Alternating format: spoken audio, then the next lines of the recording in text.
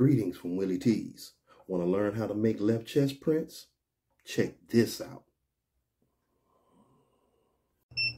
First press to get the moisture and wrinkles out. Use the lint roller to get the lint off, of course, and any other dust.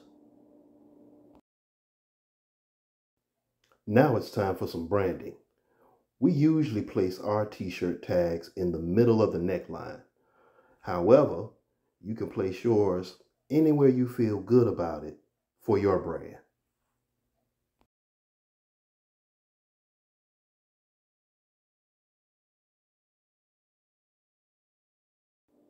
After pressing, you want to let that transfer cool for about 10 seconds.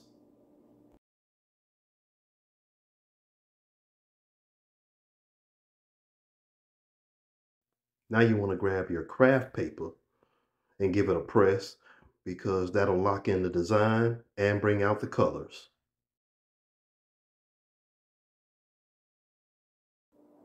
Now that we're done with the tag, let's go on to the next step in the process.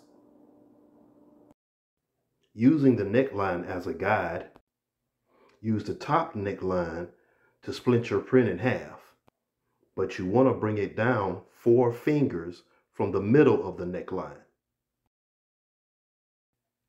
Remove the transfer paper after it has cooled for 10 seconds.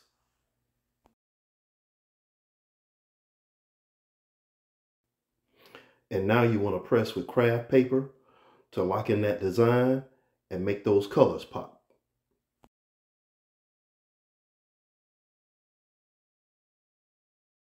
And now you have a finished product.